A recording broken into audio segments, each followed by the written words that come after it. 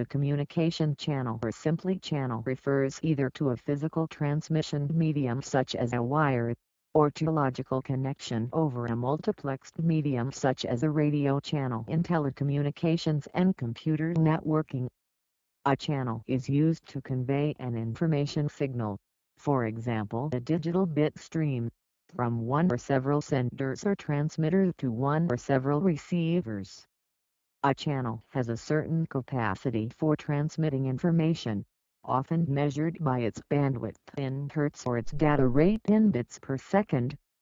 Communicating data from one location to another requires some form of pathway or medium.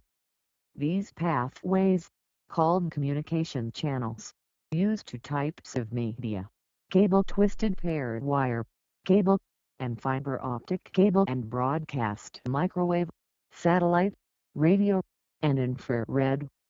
Cable or wireline media use physical wires of cables to transmit data and information.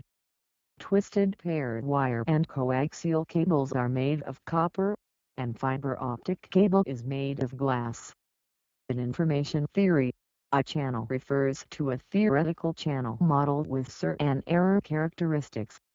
In this more general view, a storage device is also a kind of channel, which can be sent to written and received from reading.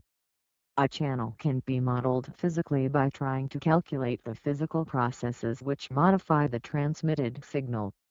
For example, in wireless communications the channel can be modeled by calculating the reflection off every object in the environment. A sequence of random numbers might also be added in to simulate external interference and slash or electronic noise in the receiver.